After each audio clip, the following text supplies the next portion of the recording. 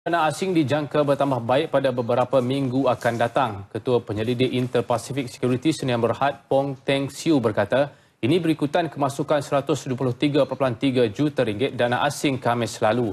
Kemasukan tertinggi sejak 8 November itu membantu menurunkan aliran keluar bersih dana asing minggu lalu berjumlah 181.1 juta ringgit.